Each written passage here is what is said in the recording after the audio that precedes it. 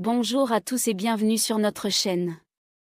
Aujourd'hui, nous allons aborder un sujet crucial et souvent négligé dans le traitement du cancer, l'importance de la nutrition. Les conseils pour vaincre le cancer doivent toujours inclure des éléments nutritionnels, mais malheureusement, cette approche est trop souvent mise de côté. Pour en savoir plus, nous avons eu l'honneur de nous tourner vers William Lee, docteur en médecine, médecin de renommée mondiale et auteur du best-seller It to Beat Disease, The New Science of How Your Body Can Heal Itself. Il partage avec nous ses réflexions sur la manière dont la nourriture peut activer les capacités de guérison innées de notre corps. Ne manquez pas cette vidéo enrichissante. 1. Quels sont les aliments surprenants liés au cancer? Le lien entre l'alimentation et le cancer est un sujet de plus en plus étudié par les chercheurs en santé. De nombreux aliments, souvent consommés au quotidien, peuvent augmenter le risque de développer un cancer en raison des substances qu'ils contiennent ou qui se forment lors de leur préparation. L'un des aliments les plus préoccupants est la viande transformée, charcuterie, saucisses, bacon, jambon, etc., classés comme cancérogènes par l'Organisation mondiale de la santé, OMS. Ces produits contiennent des conservateurs tels que les nitrites et les nitrates, qui, une fois ingérés, peuvent se transformer en composés cancérigènes appelés nitrosamines. Ces substances sont associées à un risque accru de cancer colorectal et d'autres types de cancers digestifs. La viande grillée représente également un danger souvent sous-estimé. Lorsqu'elle est cuite à haute température, notamment sur un barbecue ou une plaque chauffante, elle peut produire des composés chimiques nocifs. Parmi eux, les hydrocarbures aromatiques polycycliques, HAP, se forment lorsque les graisses s'égouttent dans la flamme et génèrent de la fumée, qui enrobe ensuite la viande de substances cancérogènes. Par ailleurs, la chaleur élevée provoque la transformation des acides aminés et des protéines en amines hétérocycliques, AHC, des molécules toxiques associées au développement du cancer. Un autre facteur de risque réside dans le manque d'entretien du matériel de cuisson une grille de barbecue mal nettoyée conserve des résidus carbonisés, qui, lors des prochaines cuissons, peuvent se déposer sur les aliments et accroître l'exposition aux agents cancérogènes. Face à ces risques, il est recommandé de limiter la consommation de viande transformée et de privilégier des modes de cuisson plus doux, comme la cuisson à la vapeur, au four à basse température ou à l'étouffée. Lorsque l'on souhaite griller des aliments, il est préférable d'opter pour des marinades riches en antioxydants, à base de citron, d'ail ou d'herbes aromatiques, qui peuvent réduire la formation de composés toxiques. De même, alterner la viande avec des alternatives végétales, comme les légumes grillés ou les protéines végétales, peut contribuer à une alimentation plus saine et protectrice contre le cancer.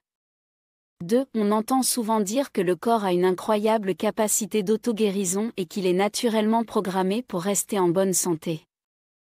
Pourquoi, selon vous, les oncologues ne parlent-ils pas davantage de l'alimentation lorsqu'un patient est diagnostiqué avec un cancer? Le corps humain possède une capacité étonnante d'auto-guérison et dispose de plusieurs systèmes de défense qui lui permettent de lutter contre les maladies, y compris le cancer. Parmi eux, l'angiogenèse régule la formation des vaisseaux sanguins, pouvant soit favoriser la croissance tumorale, soit l'inhiber. Le système de régénération repose sur les cellules souches, qui réparent les tissus endommagés. Le microbiome intestinal joue un rôle essentiel dans le fonctionnement du système immunitaire et la régulation de l'inflammation. La protection de l'ADN permet de limiter les mutations susceptibles de provoquer un cancer. Enfin, le système immunitaire détecte et détruit les cellules anormales avant qu'elles ne deviennent malignes. Cependant, lorsque ces mécanismes sont affaiblis par des facteurs comme une mauvaise alimentation, le stress ou l'exposition aux toxines, le risque de développer un cancer augmente.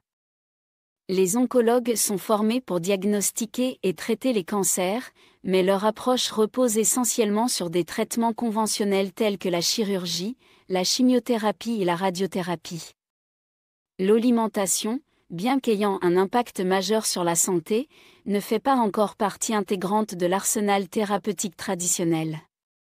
De plus, la formation médicale inclut peu, voire aucune, éducation en nutrition, ce qui explique pourquoi de nombreux médecins ne mettent pas cet aspect en avant dans la prise en charge du cancer.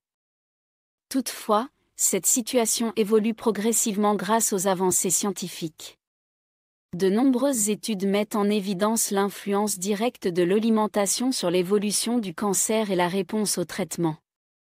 Par exemple, une étude réalisée sur 826 patients atteints d'un cancer du côlon de stade 3 a révélé que la consommation régulière de fruits à coque améliorait le taux de survie de 57%. Une autre étude portant sur 249 patients traités par immunothérapie a montré que ceux qui ne répondaient pas au traitement présentaient une déficience en Akkermansia mucinifila, une bactérie bénéfique du microbiome intestinal, dont la présence peut être renforcée par la consommation d'aliments comme la grenade, les canneberges et la mangue. Ces découvertes démontrent que l'alimentation ne se limite pas à un simple facteur de prévention, mais qu'elle peut également optimiser l'efficacité des traitements. C'est pourquoi de plus en plus d'oncologues s'intéressent désormais à l'impact des choix alimentaires sur la santé de leurs patients.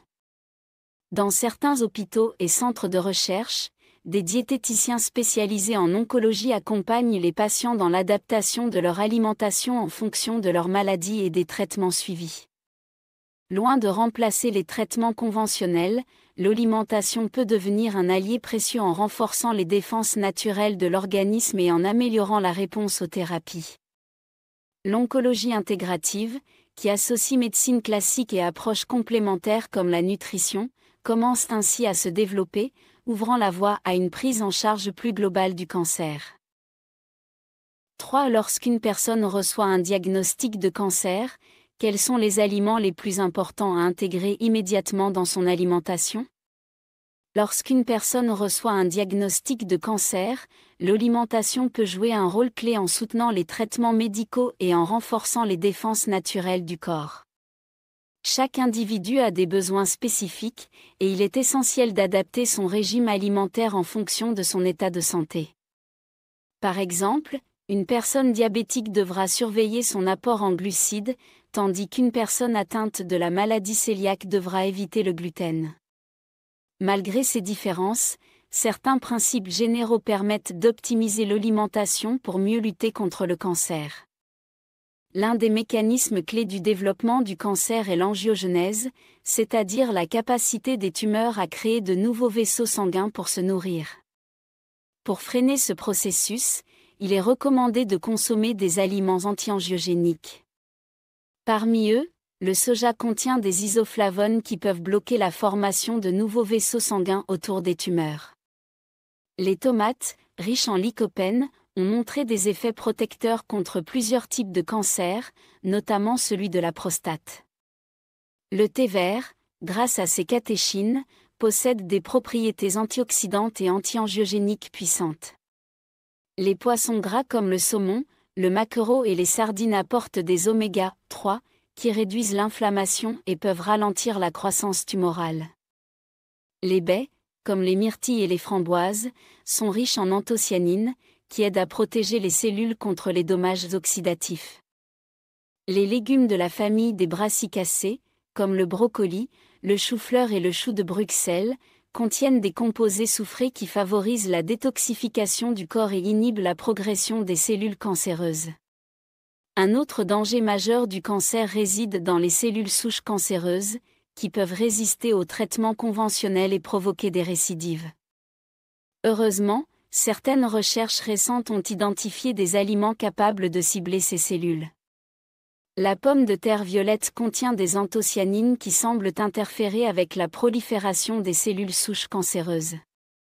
Le thé vert et le café sont riches en polyphénol qui contribuent à ralentir la croissance des cellules cancéreuses. Les noix, et en particulier les noix de Grenoble, contiennent des acides gras bénéfiques et des composés qui aident à limiter la survie des cellules cancéreuses. Le système immunitaire joue également un rôle fondamental dans la lutte contre le cancer en identifiant et en détruisant les cellules malignes avant qu'elles ne prolifèrent. Certains aliments peuvent renforcer l'immunité et améliorer la réponse au traitement. Les graines germées de brocoli sont une excellente source de sulforaphane, un composé qui stimule les défenses naturelles et aide à éliminer les toxines. Les myrtilles, grâce à leur forte teneur en antioxydants, aident à protéger les cellules immunitaires du stress oxydatif. Les piments contiennent de la capsaïcine, une molécule qui stimule la réponse immunitaire et réduit l'inflammation. L'équilibre du microbiome intestinal est un autre facteur clé dans la prévention et la gestion du cancer. Un microbiote sain contribue à réduire l'inflammation, à renforcer l'immunité et à améliorer la digestion des nutriments essentiels.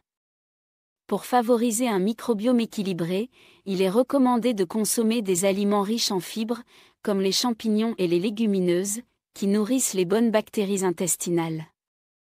Les aliments fermentés, tels que le quinchi, la choucroute et le yaourt, apportent des probiotiques qui favorisent une flore intestinale diversifiée et protectrice. Adopter une alimentation adaptée permet donc de soutenir les mécanismes naturels de défense du corps et d'optimiser les effets des traitements contre le cancer. Cependant, il est essentiel de rappeler que l'alimentation ne remplace pas les thérapies médicales conventionnelles, telles que la chirurgie, la chimiothérapie ou l'immunothérapie elle doit être envisagée comme un complément précieux, contribuant à renforcer la santé et à améliorer la qualité de vie des patients atteints de cancer. 4Y a-t-il autre chose que vous aimeriez ajouter? Certains aliments méritent une attention particulière, car ils affaiblissent les défenses naturelles de l'organisme contre le cancer et augmentent les risques de développer cette maladie. Parmi eux, on retrouve la viande transformée, les boissons sucrées, les édulcorants artificiels et les aliments ultra-transformés. Ces produits, largement présents dans l'alimentation moderne, sont associés à divers mécanismes qui favorisent l'apparition et la progression des cancers. La viande transformée, comme le bacon, les saucisses et les charcuteries, contient des nitrates et des nitrites, des additifs qui, lorsqu'ils sont chauffés à haute température ou transformés dans l'organisme, peuvent se convertir en composés cancérogènes. L'Organisation mondiale de la santé a d'ailleurs classé la viande transformée comme cancérogène avérée, soulignant son lien avec un risque accru de cancer colorectal. Les boissons sucrées, qu'il s'agisse de soda ou de jus industriels, sont riches en sucre raffiné qui favorisent l'inflammation et l'insulinorésistance, deux facteurs liés au développement du cancer.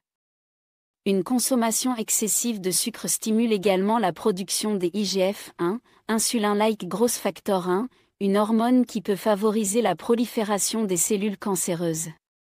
Les édulcorants artificiels, bien qu'ils soient souvent présentés comme une alternative au sucre raffiné, restent controversés en matière de santé. Certaines études suggèrent qu'ils pourraient altérer le microbiote intestinal et perturber la régulation du glucose, favorisant ainsi des conditions métaboliques propices à l'apparition du cancer. Les aliments ultra-transformés, comme les plats préparés, les biscuits industriels et les céréales raffinées, contiennent souvent des additifs, des conservateurs et des huiles hydrogénées qui peuvent nuire à la santé. Ces produits sont généralement pauvres en nutriments essentiels et riches en composés pro-inflammatoires, ce qui affaiblit le système immunitaire et compromet les capacités naturelles du corps à se défendre contre le cancer. Face à ces risques, il est essentiel d'adopter une alimentation qui soutient la santé et renforce les mécanismes de défense naturelle du corps. Une alimentation basée sur des aliments non transformés, riches en antioxydants, en fibres et en nutriments essentiels, permet non seulement de réduire l'inflammation et le stress oxydatif, mais aussi d'optimiser le fonctionnement du système immunitaire. Nos choix alimentaires influencent directement notre capacité à prévenir les maladies et à améliorer notre qualité de vie. En conclusion, la nutrition joue un rôle essentiel dans le soutien de notre corps face au cancer, et comme l'a souligné le Dr William Lee, les aliments que nous choisissons peuvent véritablement activer nos capacités naturelles de guérison. Adopter une alimentation adaptée n'est pas un simple complément, mais un élément clé du processus de guérison.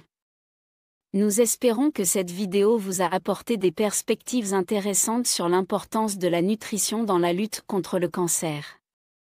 N'oubliez pas de vous abonner à la chaîne pour plus de contenu enrichissant, et partager cette vidéo pour diffuser ces conseils précieux. À bientôt.